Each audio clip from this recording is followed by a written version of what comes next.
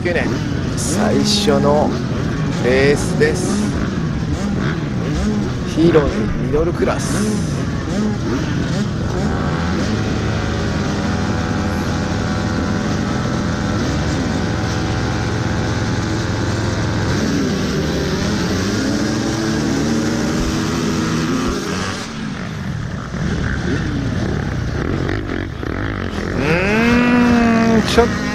ちょちょちょ4番手4番手。3号早いっす。ちょっと失敗気味だったけどそれでも4番手。5番手？5番手？見事に見事に見事に抜かれました。はい。5滑る超滑る5滑る5滑るの。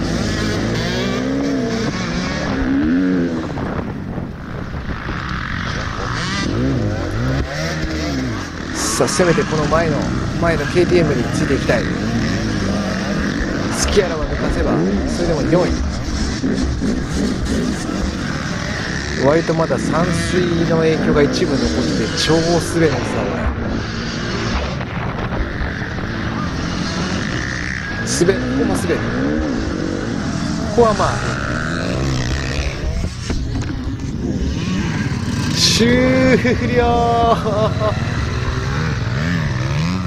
1コーナー超滑るんだわこれ。さて、えー、1周目からやらかしてしまったわけですがすでにですね消化試合ですね残りは。ああ残念です。しかもさっきの転倒の影響でなんかねフォークがなんかねじれたがなんかしたせいでバイクが全然曲がんないんですよ。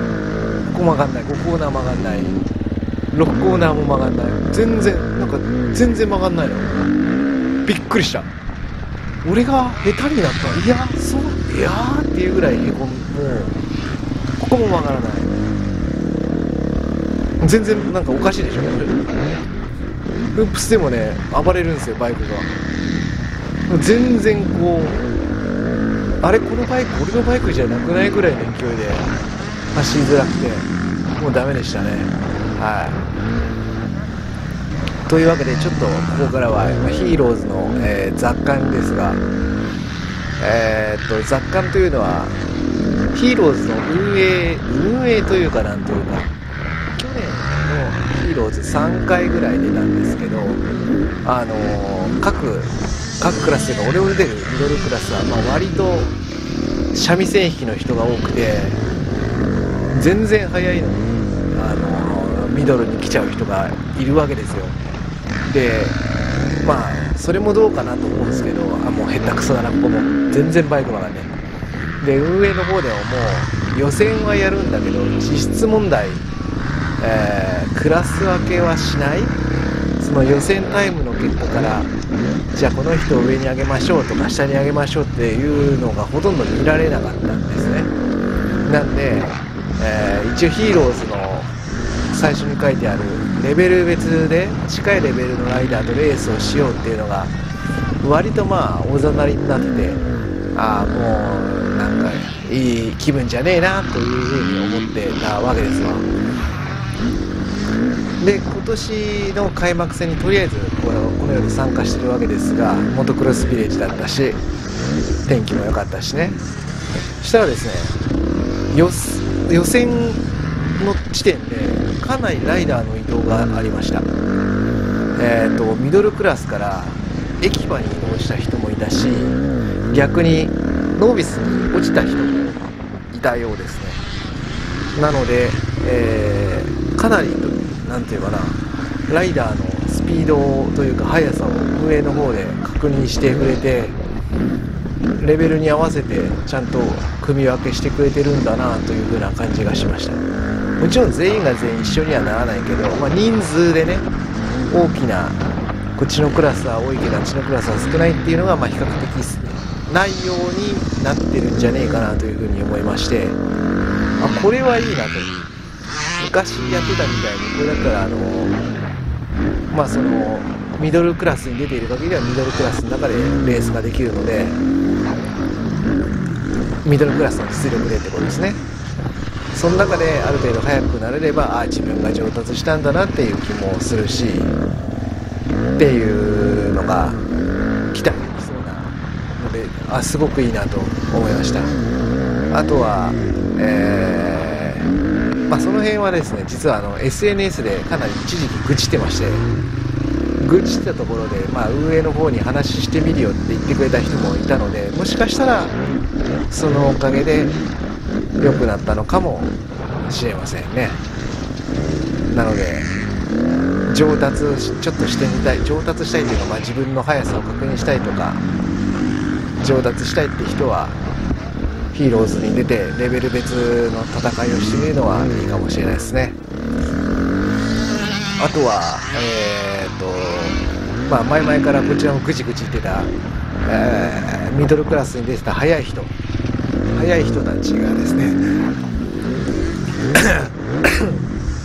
あちょっと咳れたわ。あのなんだっけ？何を言う人言おうとしたか忘れたわ。あ速い人たちね。速い人たちが、えーまあ、MRP さんがですねちょっと話をしてくれましてまあ確かにある程度速いのにジュニアミドルに出るのは悪いかなとミドルのライダーの順位をいたずらに奪っているということで、えー、1人ジュニアの方にじゃあ今度はジュニアやる方でやるよとジュニアジュニアの方に、えー、エントリー上げてくれた人がいたしもう1人はまあそういうことだったらじゃあまあ次回からはジュニアで出るようにするよと言ってくれた人がいましてあ話せば分かってくれるんだなとちょっといいものを見た気がしました。俺自体はねただあの愚痴を言ってただけで別にその人たちに交渉したわけでも何でもないからあの俺は何にもしてないんだけどあのまあそういうのがちょっと身の回りであったもんでね。あのまあ何を言いたいかというとヒーローズはいいと思うぞと。あのちなみにさっきから画面の中の私は全然左コーナー曲がれてる。これ全然曲がれてないでしょこれ。これおかしいでしょこれ。あのねバイクほんと曲がんないんですわ。ああ涙出そうだった本当に。バイク曲がんねえんだもん。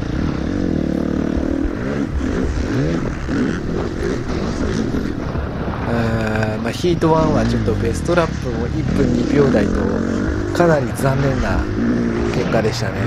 去年末のレースの時はあのコースをすごいトラクターで掘ってくれたんでむしソフトタイヤで走ったぐらいなんですけど今回はトラクターは一切なくてこれの前の日も練習に来たんだけどトラクターなしだったんでもう割とカチカチカチカチっていうかまあなんていうかなあんまり路面はいい感じじゃなかったですね。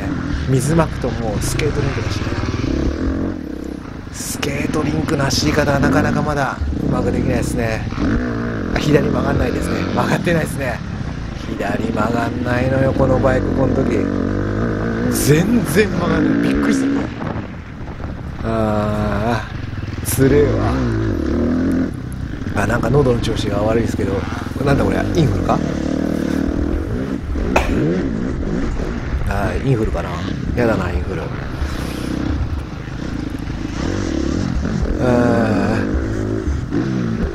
これなんだでこれまだ終わんねえのか？早く終わりてえなこれ。スレーは。スレンダーは。まあそんなわけでヒート1は悲しい気持ちのままレースを10分進めることになってしまいました。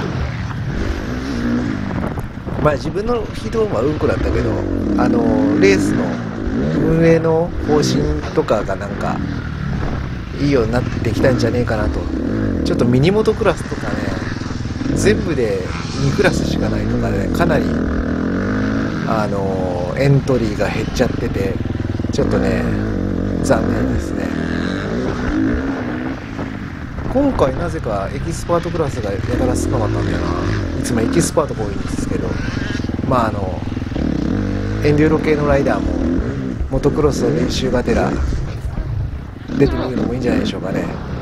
あもう文句言ってます。全然曲がんなくて切りかかってますあのエンデューロ系のライダーをモトクロスとして、えー自分がどれくらいか。なんていうかあの上の方で予選とかでもある程度無理のないクラスに入れてくれると思うんでね。そういうなんですかね自分の実力を客観的に見るいい機会にもなるんじゃないかなと思いました。はい。話すことなくなったんだけどどうしたらいいかなこれ。あー。もうもう少しあるからね。もう少しあるから。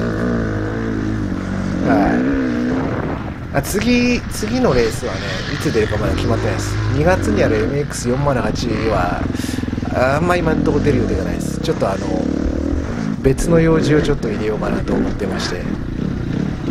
あーまたなんかねほんとねフープステをバイクが暴れて全然用できかなくて辛かった。1分3秒とかねもうくそ遅ですよ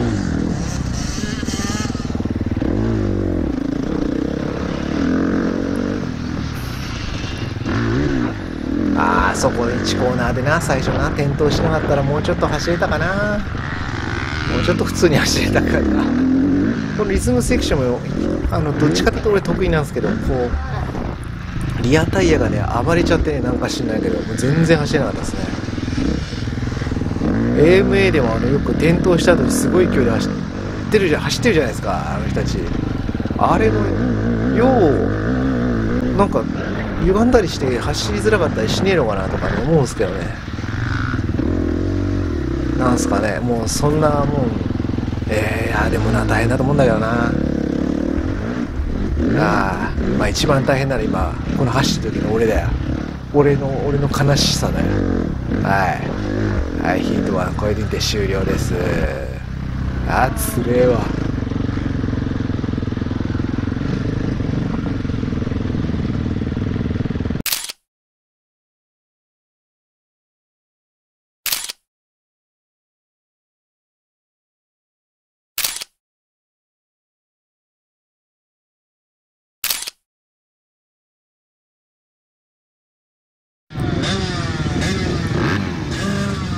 さて、えー午後のレースです。ミドルクラスヒート2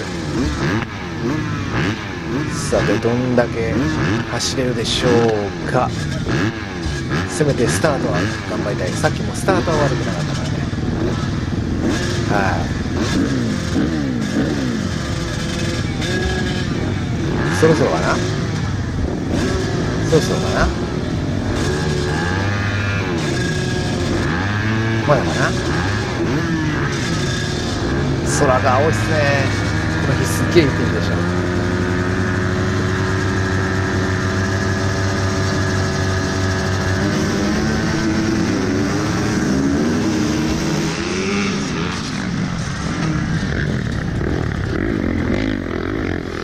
オールショットはヒート1と同じ人ですね。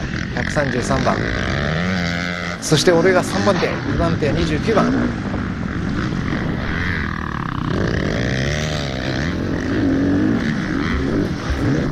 早いよ。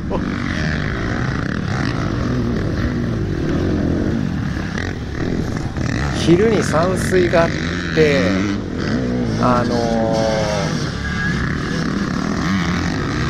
いつもだったらエキスパートクラスがあってジュニアクラスがあってミドルなんですけど今日はこの日はねあのエキパとジュニアが混走だったんでもうすぐにあもう2位が1位に見た。早っ。でもオープニングラップでついてるついてって言ってるなすごいな。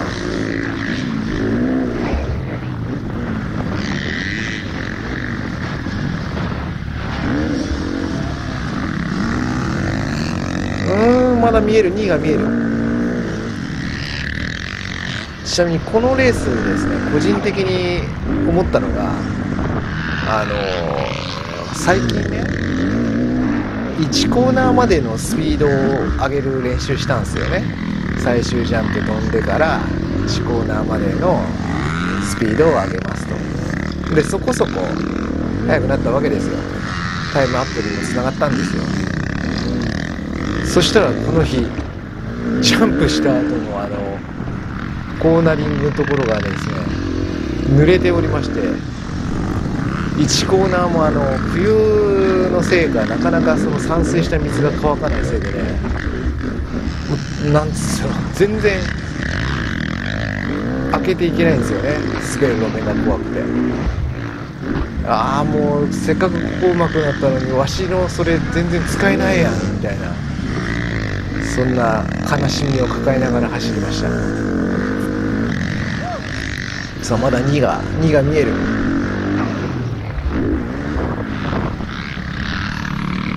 速度はやっぱ向こうのがちょっと速いですね。やっぱね路面かなり回復してきてはいるんですがまだまだ滑るんですよね。あ滑る路面が下手くそだからさ参っちゃうよね。最高速も56キロまでしか出てねえよ。でもまだ2位が見えてるからなんかすごい相手が疲れてきて一気にペースダウンとかしねえかなと思いながら走ってました。さてこの GoPro 画面では確認できませんが俺らの俺の後ろには別の KTM がずっと迫っておりましてそれが実は怖かった。そして少しずつ離される2番手との間逆に迫ってくる俺の後ろ。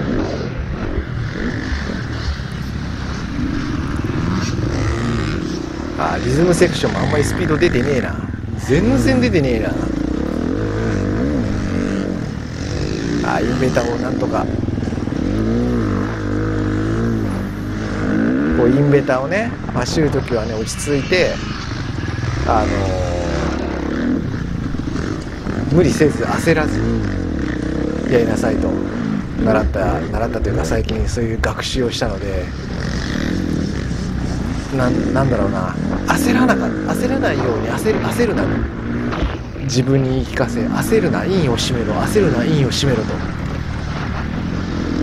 インさえ閉めりゃ簡単には抜かれねえと。いうことを考えながら自分に言い聞かせながら欲を出さないようにこうねレースしてました。欲を出そうとしてアクセル多めに開けるとねスリップダウンするとかリアがあっちの方向行っちゃうとか大体罠が待ってっから。うん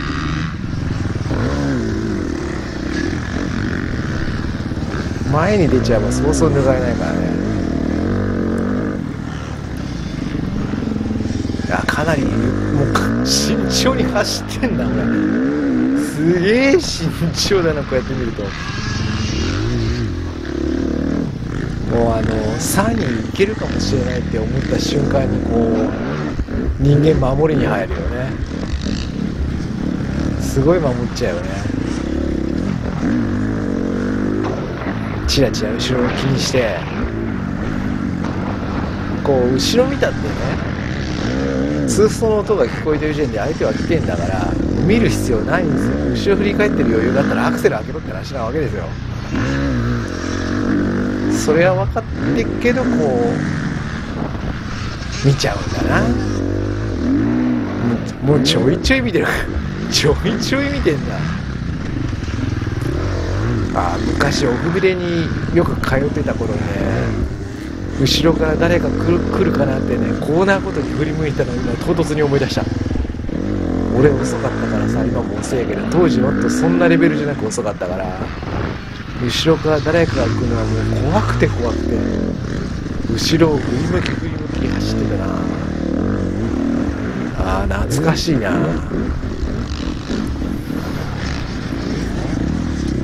今振り向いてる場合じゃないんでやんなきゃいけないのは落ち着いてアクセルを開けることそれだけ。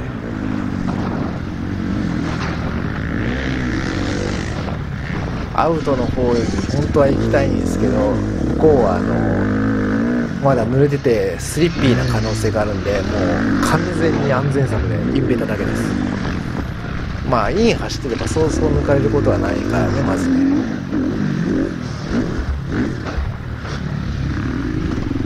見てるのこれ何の面白くもない動画だなこれ。全然面白くねえなこれ。全部同じラインで1人で走ってるようにしか見えねえししかもやたら丁寧というかビビりなビビりながらというかこう後ろおおひでえなこれ。こんなに後ろ気にしながら慎重に走るやついる？これはひどい動画ですね。今ちょっと見直してて自分でびっくりしたわ。すごい気にしいだなですね。かしいな俺レースの途中で。いやもう後ろ振り向いてもしょうがないってなんかどっかで気づいたはずなんだけどまだ振り向いてんなこいつ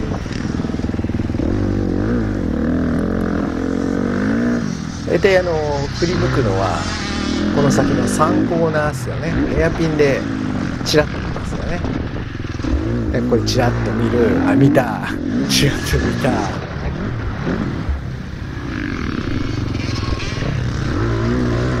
こは視線が大事なので絶対こっち見ますと。で次がまた俺がもうチラッと見るチラッと見ることが多い。あもうあもう見ない。見ないってことはそろそろ気づいた。気づきましたね。後ろ見てる余裕なんかお前ねえんだぞと。お前には開けるしかないんだぞと。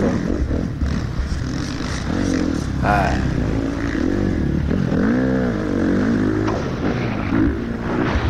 ラップタイムは1分1秒ですね。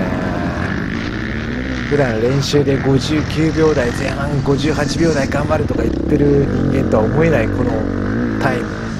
実際路面がかなりまだ難しいんでこんなもんかもしんないですね。俺より前の2台も全然見ねえよあの2人多分ねミドルじゃないんだわ。ああ。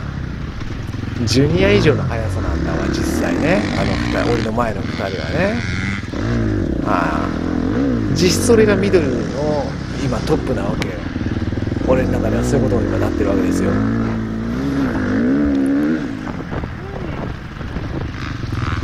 えいとか言ってるね。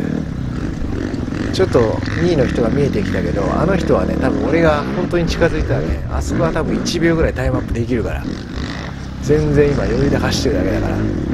一方でこれもう割とあの必死というかおい。すごい。前が見えたからちょっと気合が入りましたかね。後ろを振り向いてもしょうがないってことに気づいたわけですかね。タイムアップしましたね。レース後半でも垂れないと。レース後半で垂れないことだけが唯一こう自分でも頑張ってるなと。日頃軽くトレーニングとかしてるからね。軽くだけどねていうか俺の後ろの人も全然ついてきてるわ。おかしいな。